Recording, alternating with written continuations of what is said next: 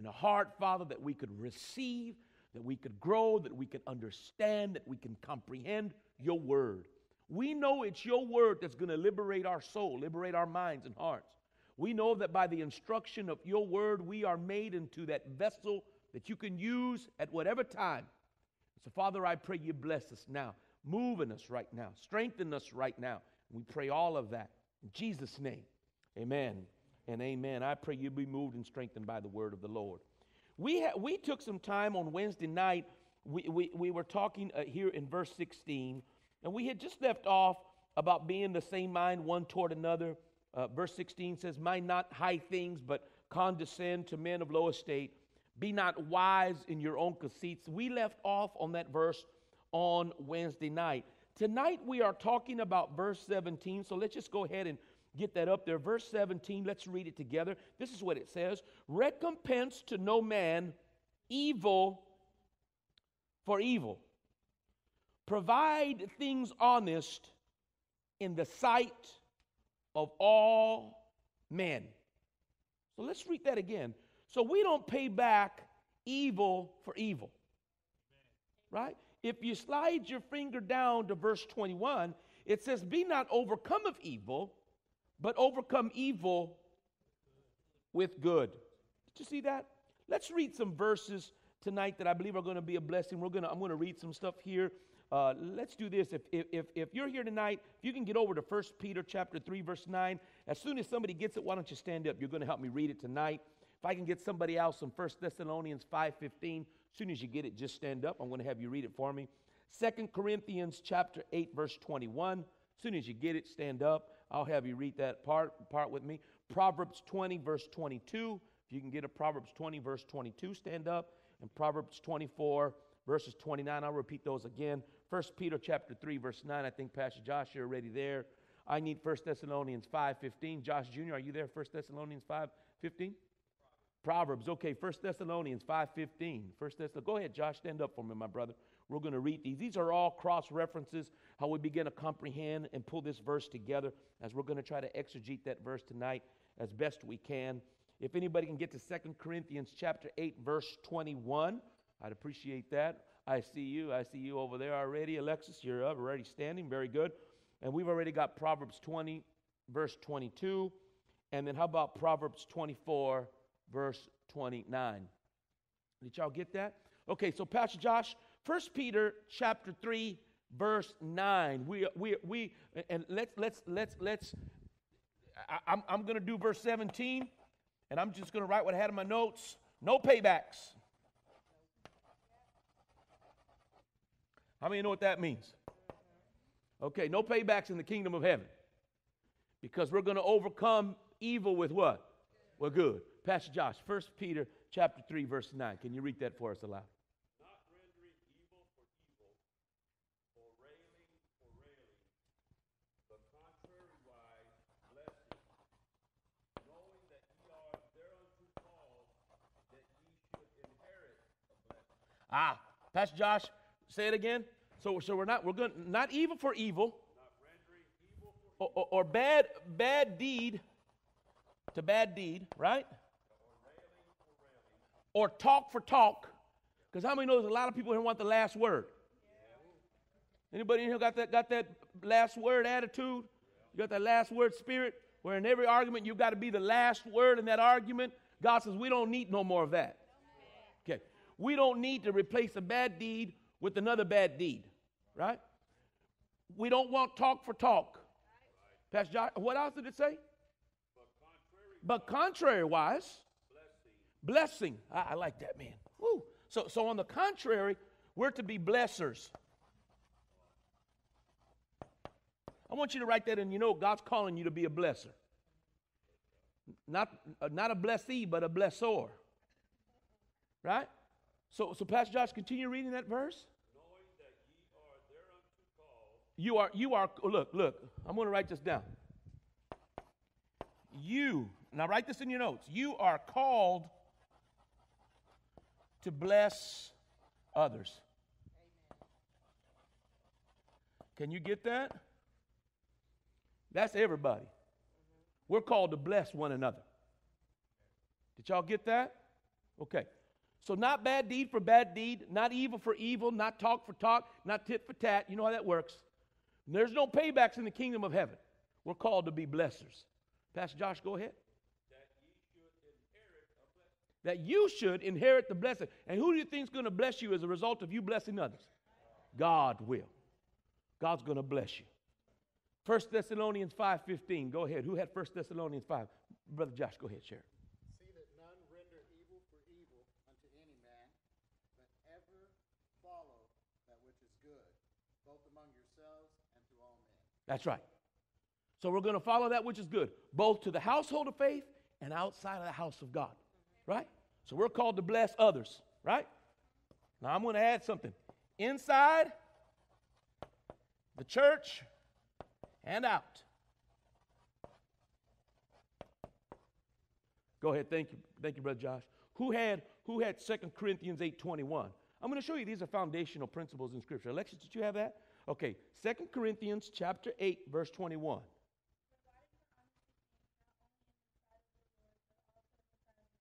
Okay, now, now, now read it again and read, read, it, read it real slow for us.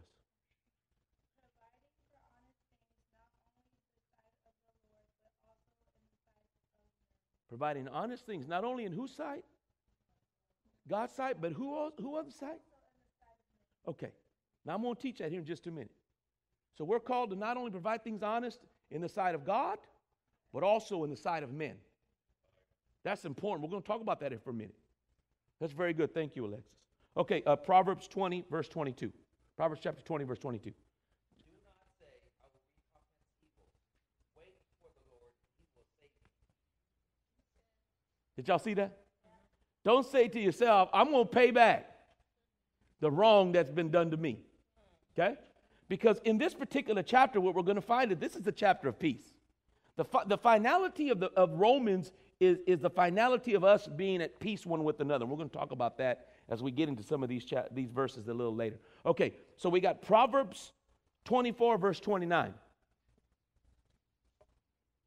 Say not, I will do so to him as he hath done to me. I will render to the man according to his work. That's right. So say not what? That I'm going to render to the man what now? Read it for me one more time.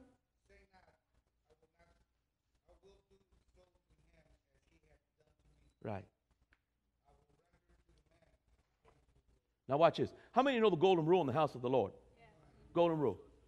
Okay. How, how, how, how, how, many, how many know what it is?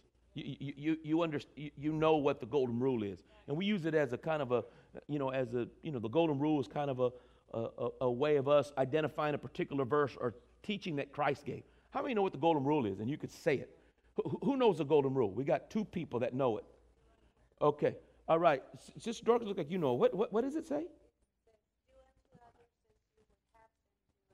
Okay, so we do unto others as we would have people do unto us. So it's so the verse is not don't do to other people what you don't want done to you. So don't do to other people what you don't want them doing back to you.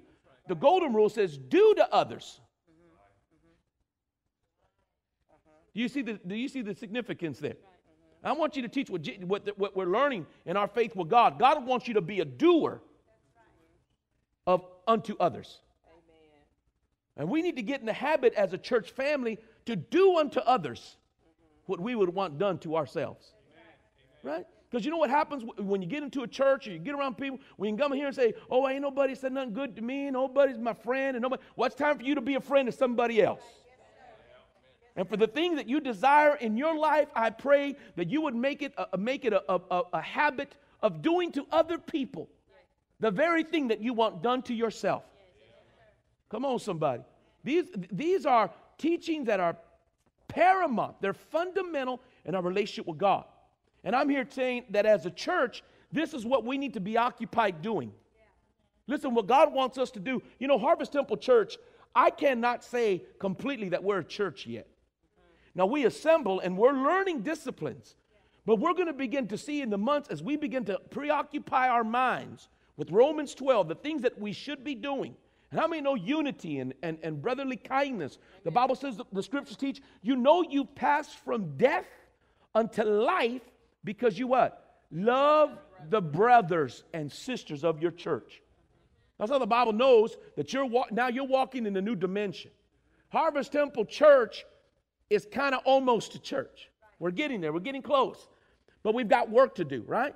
And we're doing this work because I believe what God's going to do with our church when He establishes our church and begins to move our church. Because right now, there's some beautiful things. God's going to be moving us out of Grand Prairie. Just letting you know.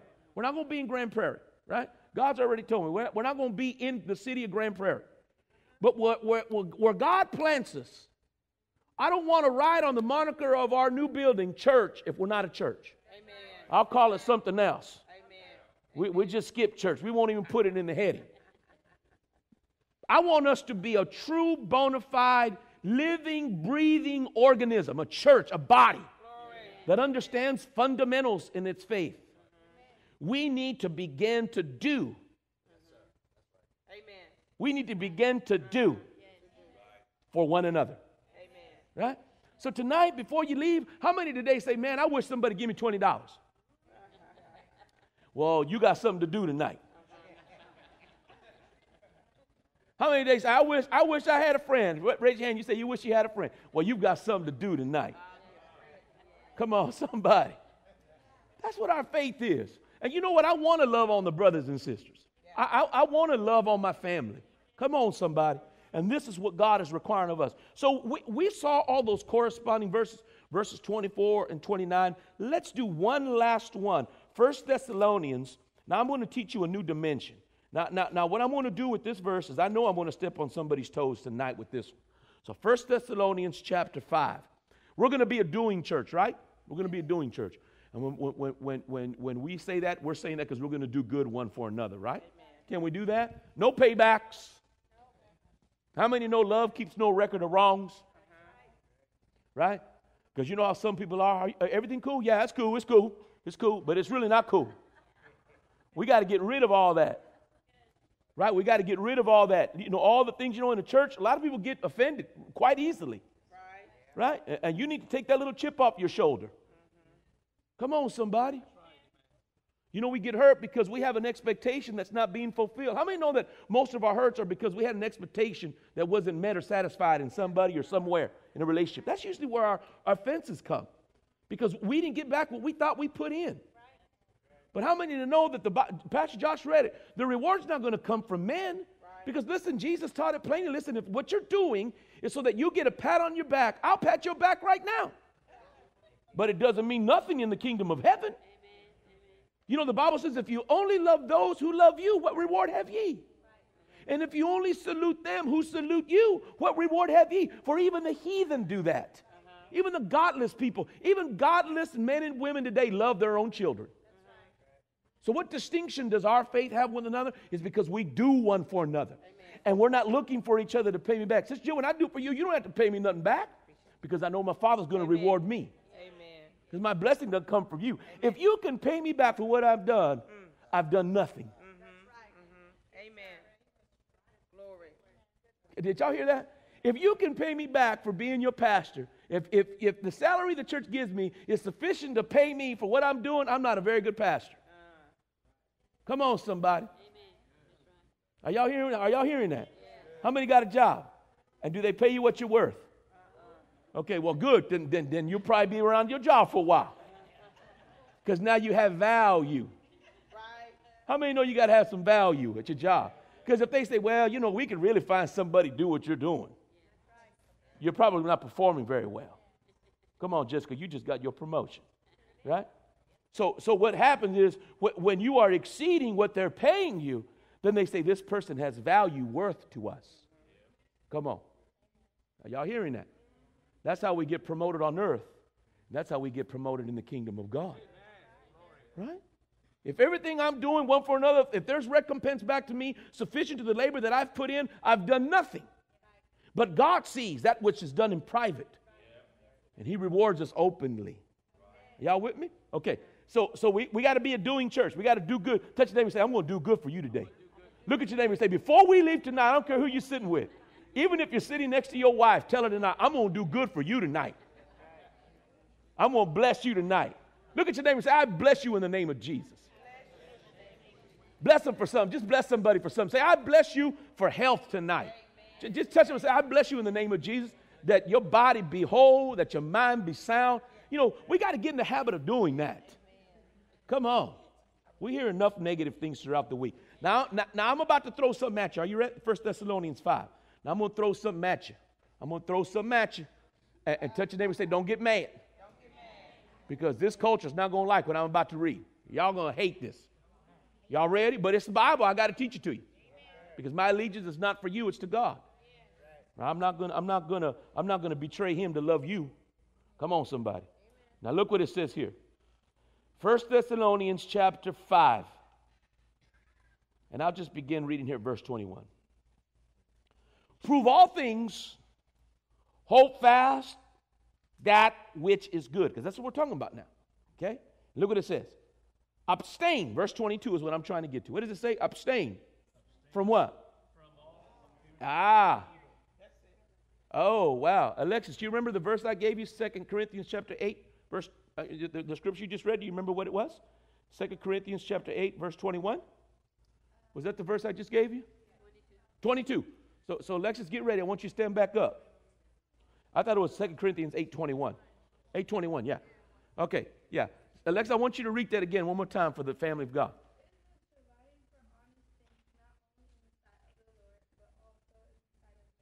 So, so, so not only are we supposed to do that which is right, good in the sight of God, but we're also also provide that same goodness in the sight of men. Now, now, when we get over to this verse 17, I want you to see that these verses are not just the, the way the Bible is constructed, is there are supporting scriptures that support one another. And they, and they give credence to that which we're trying to exegete. Romans chapter 12 says, and if we go back and look at it one more time, Romans 12 says, and I'm going to read this to you it says, Recompense to no man evil for evil, provide things honest in the sight of all men.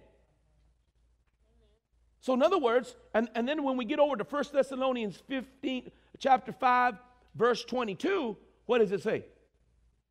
That we should even avoid what? The appearance. Now, now I, am going to throw something at you, and I know y'all going to think Pastor's tripping. But look, I know, I know a lot of, I'm just, I'm just going to give it for instance. And, and you've heard me say this. You will never catch me at Hooters.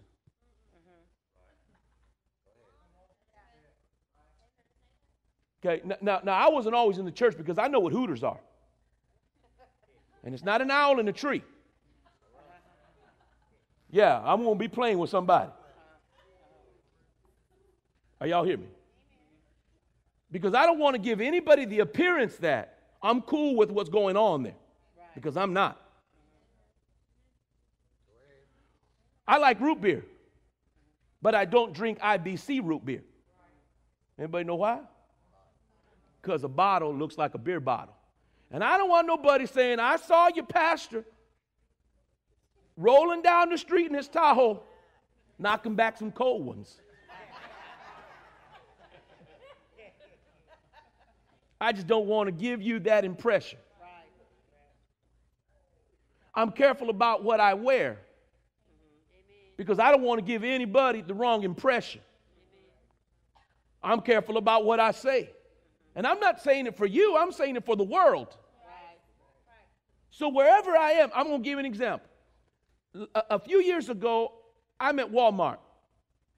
And, and we're there talking, and, and the, you know, the girl, she doesn't know me, I don't know her. I come through the line, I have a few items, I, I give her a 20, and then she hands me back the change. And, and, and as I'm grabbing my bag, I say, hold on, that don't add up. It wasn't to my, to my deficit, it was to my favor. Watch this. So I go back and I say, young lady, uh, listen, you, you gave me back like two or three dollars too much. You know, because a lot of people say, oh, I got blessed today. Man, I got me a blessing. Well, what happened to you? I went to Walmart. I gave him 20. They gave me back $10 in change. God's looking out for me. No, he's not. That's not how God looks out for people. And so I went back. Watch what she did. I went back and I said, young lady, I, I said, I know, I know. You, listen, I think you gave me back the wrong change. And then she says, oh, oh. Uh, she goes, by the way, I know who you are. And I said, you do? How do you know me? She goes, I've seen you on television. Mm, mm. Now, I don't know if this little girl was checking me, mm-hmm. but my integrity is not for sale for two or three dollars. Right. You hear me? Because I'm going to be honest. Uh-huh. Because the Bible says if I can't be honest in the little thing, how am I going to be honest in greater things?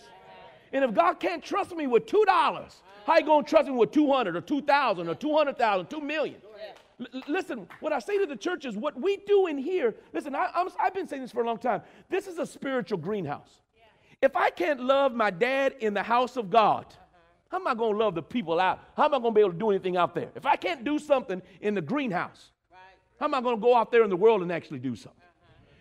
This is a place where we practice all of that. Amongst the brethren, where we learn to be honest and, and we practice integrity and we, and, and we tell the truth and we're honest and we're loving and we're, we're pouring ourselves into people so that when we practice it here, when we get out in the sight of men, we're already co- working in the things of God. You know, what did Jesus say? They're going to know you're my disciples. Why? Because you got your Bible? Mm-hmm. Listen, there's a lot of people, listen, when I leave my house, I leave on Debbie Lane. There's a big church there on 360. Not everybody going to church there is a disciple. Just because the church has a lot of people doesn't mean doesn't mean anything until people on the outside say those people love each other. Uh-huh. Then they're going to know you're my disciples. Not because you have a big church. And that's what I, I want to avoid that with Harvest Temple Church. I know on Sundays we're packed and people are here and, you know, all that, you know, okay, all right, big deal. Do we love each other? Amen. Are we blessing each other? Are, are, are we occupied in doing one for another? Amen. Come on, somebody. Amen. How many would love for somebody to treat you dinner tonight? Raise your hand if you would somebody just treat you to dinner tonight. Daniel, put your hand on. I treat you to dinner every, every Sunday. I got you, son. Raise your hand. You want somebody to treat you to dinner? Okay, well, you got something to do. Well, you've got something to do. Yeah, now you see, see that's what see, see, see, anything that you would want done to you, Jesus says, do to somebody. Amen. So if you say, oh, I, man, I just wish somebody be my friend. Well, you got something to do. Uh-huh. Now you got to be friendly to somebody else. Uh-huh. Right? That's how the church works. Because you know, a lot of people going to come in, oh, I went to Harvest Temple and nobody said hi. Uh-huh. That's not how the kingdom works. I went there and nobody ever said, said hello or congratulated me or thanked me or you know did anything for me. That's not how it works, brothers and sisters. We come here to do for each other. Somebody say glory. Wow, right? So we got to avoid even the appearance of evil. Now listen, I'm going to say something. We talked about this in our singles meeting. Sister Pam said something very good, and I'm just going to try to elaborate a little bit. I know that when people first get saved, your best clothes is your club clothes.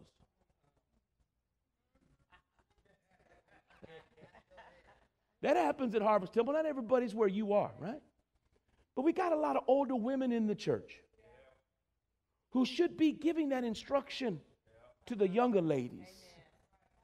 And we got older men that should be talking to these young brothers at the church. Are y'all with me? You know, I, I, I can only invest in so many people. You can only invest in so many people. But you know what? There's enough older men in here that there shouldn't be a young man in this church that doesn't know the ways of God. And there shouldn't be a young woman in this church that doesn't know what God loves and the heart of God because there's a, there's a godly woman in the house of God passing that instruction down. We got to be a doing church. Listen, because we're having to teach what it is, you know, nowadays, and, and, y'all don't get me wrong here. Listen, I know when we all come to church, you know, we come, you know, if you've been in the world, you, you brought in a lot of baggage. How many say hallelujah? Don't be acting all sanctified now. Come on, get real with me. You come into church and you are in the world, and in the world you pick up a lot of stuff. And then, and then when you get here, the pastor, what am I doing? Uh, what you know, the Holy Spirit's doing. What are we doing? We're trying to chop that stuff off of you. We're trying to trim you down, make you ready for the race. Because I mean, know you can't run the race heavy. You, you got to strip down to run this race. You got to be light. You got to be fleet-footed. And we got to we got to get ready. Any weight that would would beset us, that would that would tie up our feet, that keep us from running swiftly, right? So we got to get rid of ideas. We got to get our emotions in check. We got to get our doctrine right. We got to understand God. We got to begin to have a pursuit of God. A lot of things begin to happen and transpire in that time. And so there are things, ideas that you're bringing in that are contrary to God. That I hope that while you're at Harvest Temple or while you're learning or being instructed, that you're getting rid of some of these things, right? But some things, some things somebody needs to plainly tell you. That, bla- that v-neck blouse you got is a little bit too much V. Amen. Brother, them designer jeans you got, they're a little too designer for you. Right? Right. You know, because nowadays they don't, you know, back in my day we used to say it was tight. Today they say it's form fitting. And my, my little sister, how many know my little sister Margot? My little my sister Margot's got a saying. How many know Margot's saying, my little sister Margot? This is her saying. She says that if she can stretch it, she can fit it. I say, Margot, that's not, that, that didn't come from the Holy Ghost. Who, whoever. First of all, I don't want to see you in everything. First of all. Come on, as your brother. Come on. But secondly, I think there's things, there's, you know, the Bible says, let our moderation be known unto all men. Let our moderation be known. Right? How many know it's good to be moderate? Right? Moderation. Isn't that a key word for our generation? Moderation. No, nobody, nobody, you're saying, well, what, is, what does moderation mean? You, you need a dictionary. You need a dictionary. Moderation isn't too left, isn't too right. We're learning how to balance ourselves. Come on, somebody. Man, that's, that's a good thought for somebody, right? So listen, there's things that we, you know, listen, th- there are things, even in our culture, I'm telling our kids, even Apostle Paul said, you know, there's a lot of things that are permissible, permissible but they're not beneficial. Right? I meet, I meet more and more people these days that are trying to tell, uh, uh, Pastor, what's wrong with one glass of wine? Never before have I seen a generation that wants to know how, how close can they get to death without actually dying. Do y'all understand that? Look, you show me one person that can drink one glass of wine, I'll show you 10,000 drunks. Odds are that if you start playing around with stuff, it's going to snare you. I'm trying to get rid of stuff. I'm not trying to get stuff. I'm not trying to get a habit. I'm trying to break habits. Right? Well, Pastor, what's wrong with, with, with smoking a cigarette? Well, you know, brother, will I go to hell for it? You know, I, I don't want to be the judge of that. But do you really need nicotine to calm your nerves? I got prayer instead. I know how to pray. I don't, my nerve, uh, when I get, I pray. Come on, somebody. What I'm saying is, you know, why do we want, why do we want to look like the world? Why do we want to look like them? Why, why do I want to look like I belong to them? I want to look like I belong to God. Come on, somebody. So listen, you, you know, if you drink a glass of wine, you're going to hell, you know, brother, sister, I, probably not. But keep playing. Just keep playing around and see what happens. You're opening yourself up to not, you know, and you know what else I tell people? You know what the scriptures teach? Man, the Lord's got me going here. The scriptures teach me that I, I should never be a stumbling block. I'm not my own, I was bought with the price. You, you, you know, I, I, was, I shared this testimony not too long ago. There were some very prominent ministers in this city who, who, who, are, who are friends of mine, who Pastor Josh and I have counseled with them about their public intoxication. And, and it wasn't too long, you know, that we engaged this argument when I had a friend, a family that, that took me out to Zio's, and, uh, uh, Zio's, Zio's, and the Italian restaurant. You know what I'm talking about? What is it called? Zio's, right? It was all right, you know. While I'm eating there, I see one of them. And I, you know, hey, what's going on, Pastor? Hey, how you doing? He waved back at me. And so while, while we were there just talking before we get, my, my friend uh, uh, in the Lord got up. He said, I'm going to go wash my hands before I. So when he went and came back, I noticed he was a little disturbed. I said, Man, are you all right? He says, uh, is, is that your friend? I said, Yeah, it's a pastor friend. He, he passed right in Grand Prairie. And I, I told him where his church was. He says, Man, he's drunk. I can't believe that a pastor, you know, so he was offended by that. That somebody who calls himself a man of God would be somewhere intoxicated. Listen, church, do you understand that being a stump, you know, we're responsible to never be a stumbling block, even to these young people. Listen, young people, I don't never want you to get a tattoo on your body. And I know that a lot of your generation, man, y'all would sleeve yourselves and put all kinds of tattoos, but I'm here to tell you, you're not going to look more godly. You're going to look more worldly. Right. Gary, am I saying something? We've talked about this, right? We've talked about. It. You don't mind me sharing, do you? Yeah. Gary, Gary came to me and said, Pastor, you know, I, you know, my boss likes my work. Says I'm a good worker. They want to promote me. The only problem is the next level of management says I have too many tattoos. Now I would take them off, but they said if I took them off, they'd look like burns. I don't want to scar myself up, and I don't have the money to pay for it. Your generation, your generation is saying anything's cool. Everything's open. God is love. Listen, God will always be love. The question isn't God's love to us, it's our love to Him. God, God's love will always be the same. Young, young, young people, listen. God will love you to the apex. You can't even measure the love of God. The ocean's too wide, too deep. The question is, how much do you love God? That's the question. God's love has never been in question nowadays. The question is, how much do we love Him back? Listen, I don't ever want to put something on my body that's going to be a stumbling block to another brother or sister in the, in the Lord. Come on, somebody. I don't never want to be in a restaurant or in a place where my activity, my attendance is, is co laboring with something that is demonic or, or worldly. Come on, somebody. Y'all got to hear that. I take that stuff very serious. Long before I was a pastor, I believed that. Come on, somebody. And I know that when we're from the world, Gary, you know how that is. We talked about that. G- Gary, Gary's from the street. And when you're banging, that's what you do. And when you're rolling with the boys and you're gang banging and, and rolling hard and you're thugging, you know that's how it is. But then when you meet the Lord, yeah, you know, you know how it is, Gary. I'm, you, you know, uh, uh, praise God for Brother Gary. You know, he know, he understands that now. He could be a help to some of these young people. Think all that stuff, you know, all that street stuff and all that thugging stuff is, you know, is how is a way to go. We know it's not the way to go. And I don't ever want to be a stumbling block to anybody in the church. And that's why the Bible says, listen, if I offend somebody, watch this. If I, if I offend you and I know I've offended you, I can't even offer up a sacrifice to God. My arms are dead. The, Jesus said, listen, put your arms down and go make right with your brother before you offer anything to God. Because God is about unity. Amen.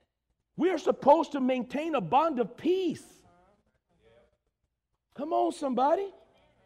We're, we're, we're in such a self centered culture of believers.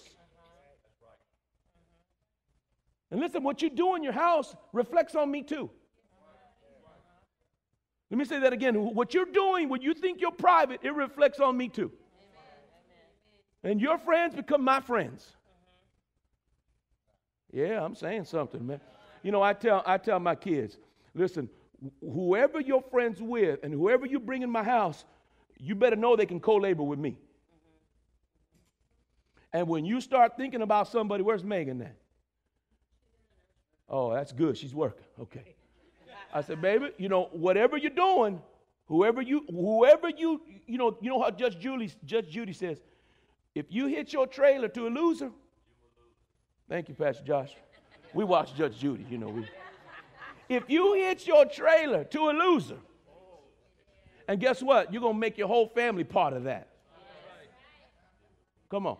That, that's why I don't, you know, I don't befriend myself with just anybody. Now, I'm friendly to everyone, but my sphere is very small. Yeah. I, I love, I, I, I, let, I do whatever God will have me do at any time. I, I, I am available to God 24 7. But friendships become a very small circle because I'm careful. You should be too. The Bible says we should guard our affections. Man, that's a good word. All right, do y'all get that? Come on, somebody. Touch your neighbor. Say, don't look like a thug. Touch Brother Gary back there for me, Brother John. No, Brother Gary, Brother Gary doing a good job. I love you, Brother Gary. That's my man right there. And I love his little boy, JT, man. That's my partner right there. He's my partner in the Lord, little JT. Come on, somebody. Okay, look, let, let, all right, uh, let's, let's, let's do this. I, I, will do the next verse next, next, next on Wednesday. Can we read it together before we leave? Let me just read this, this verse to give you some food for thought. You ready? Romans chapter 12. And you're going to like verse 18.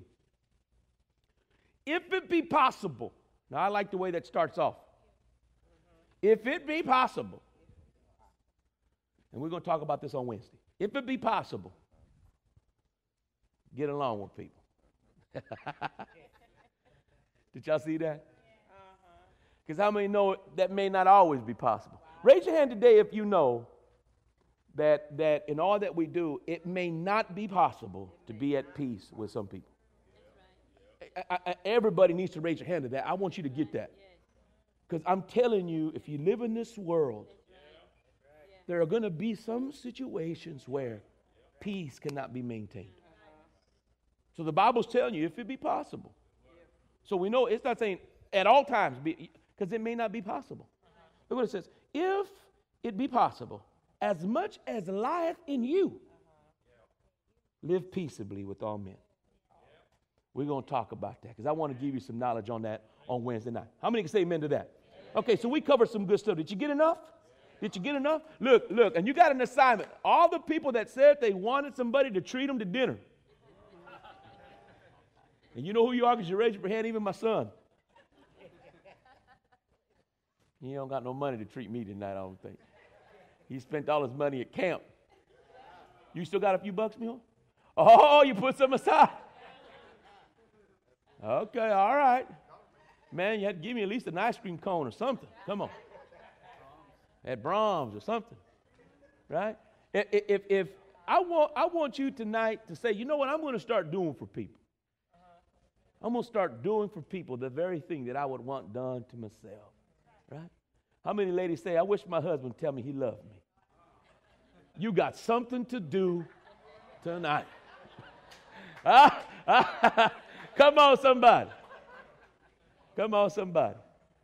Husbands, how, would, uh, uh, how many husbands here say, I wish my wife would make me a cake? There ain't no hands going up. All the guys are smart now. I don't know.